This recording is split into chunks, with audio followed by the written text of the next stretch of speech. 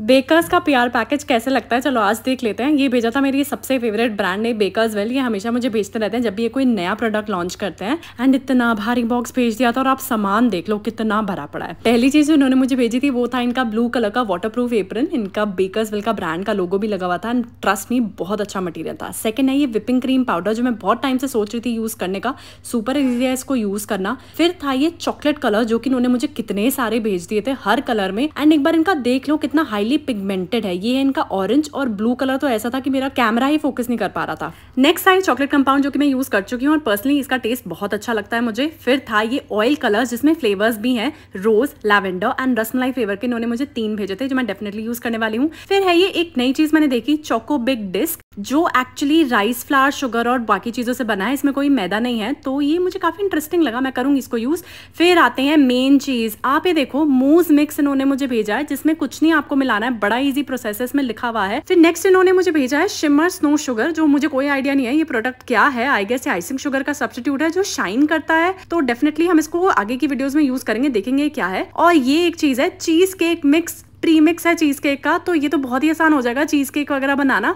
तो इसको भी हम यूज़ करेंगे और इन्होंने फिर मुझे भेजा एक पेन और एक ये छोटा सा गिफ्ट जो कि की निकला। तो इनमें से सबसे पहले हम कौन सा प्रोडक्ट ट्राई करें नेक्स्ट वीडियो में let me know in the comment section और हाँ चैनल को ज़रूर सब्सक्राइब कर देना if you like my videos